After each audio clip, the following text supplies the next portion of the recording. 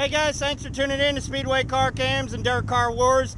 If you guys enjoyed that video, give us a thumbs up. If you didn't, give us a thumbs down. We'll try better next time, and uh, thanks for watching.